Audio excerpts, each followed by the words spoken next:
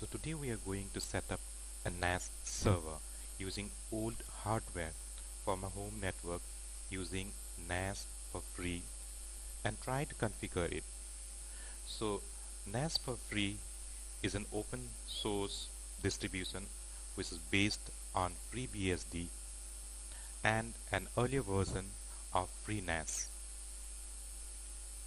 Hardware requirements of NAS4Free is low. It requires a minimum of 1 GB of RAM.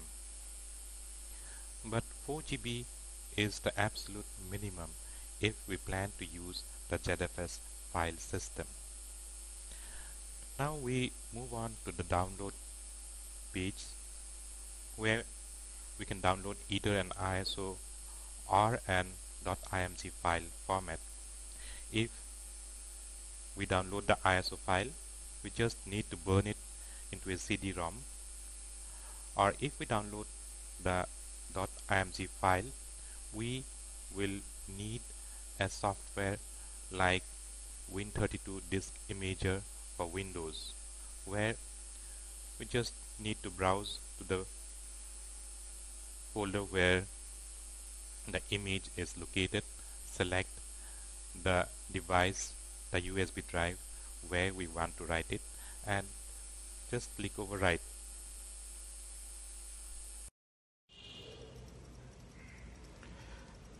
This is going to be my test machine.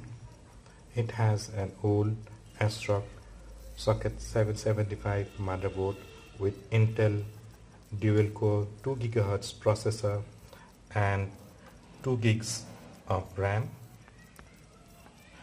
For storage, I have two old hard drives for test purpose. I will be booting from a pen drive through a cable attached to the motherboard. So let's go and boot the computer. So this is how it's going to look after booting from the pen drive. Over here it is saying that the LAN IP address is 192.168.1.250. this is the web GUI address. Here is the console menu. And these are the options where you can configure LAN interface on the IP address.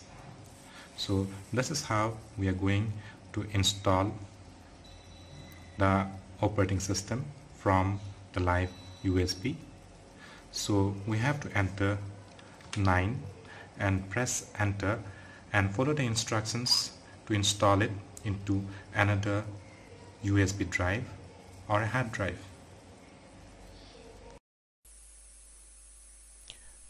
Now that our server is up and running and connected to the local network I now open a browser in another computer connected to the same network and in the address bar I type in the IP address of the server which was 192.168.1.250 and we are greeted with a default login screen where I enter the username as admin and the default password as NAS4Free and click on login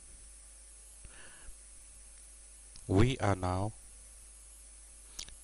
logged into the server so this is the default home page of the server where we can find various informations about the server like the uptime, CPU temperature, the memory usage. Over here we also find that no disks has been configured. So now we go to disks and click on management. Now we click on clear config and import disks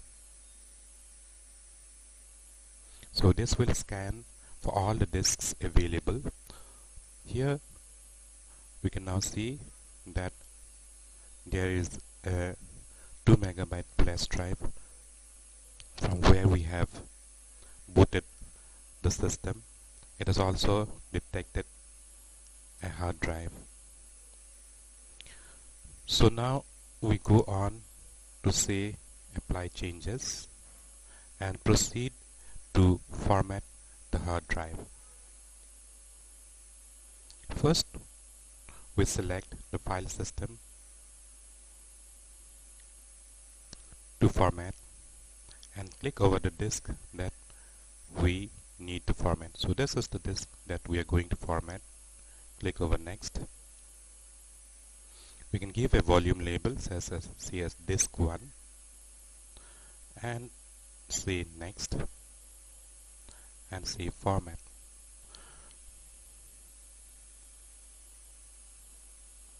So now it has formatted the disk.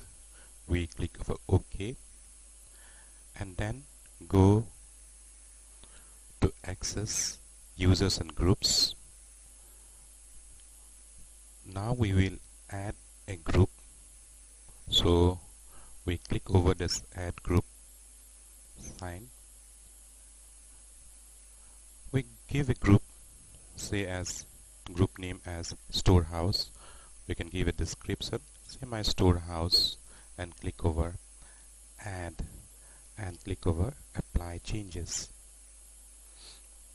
Then we need to add users. So we click over add user. We give a name say storehouse. My storehouse say as the full name. Then we give a password. Then we need add the primary group. So we we will choose the primary group as storehouse. We can then choose an additional group any additional group. We keep the home directory as it is for the moment and click over add and apply changes.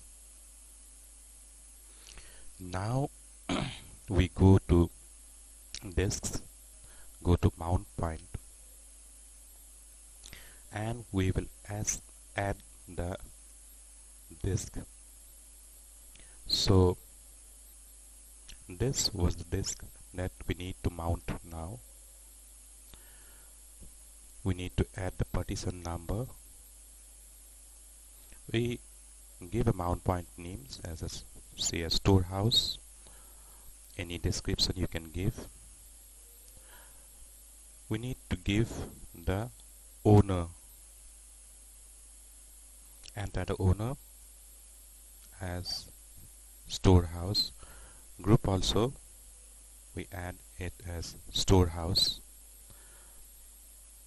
So we can now click over a chain and change the access restrictions for others we can decheck the checkbox. Let keep it checked on for a moment and click over add and then apply changes. We again go to access users and groups and modify the user. So this is where we have to click edit user and now add the home directory. So this was the home direct directory mount storehouse and click ok. So the home di directory has now been selected and now we click over save and apply changes we now go to services and add a service. Say this common file system service. We need to add. Go to shares. And click over the add share. We give in name say as storehouse. We comment it say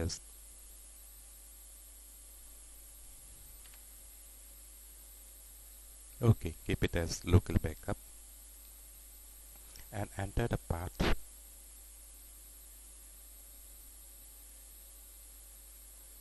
Mount storehouse. We keep the others checked as it is for the moment. And click on add. Apply changes. Go to settings. And click over enable go below and click over save and restart. We can now go to our home page of the server. Over here here we can now see that the disk has been configured. Now if everything has been configured properly we should be able to view the server through any computer that is connected to the local network. So from this Windows computer we now have detected the NAS4Free server. We can click over it. So we can now see the storehouse. And we are free to use it as if it is a local hard drive. We can create folders. We can transfer files into it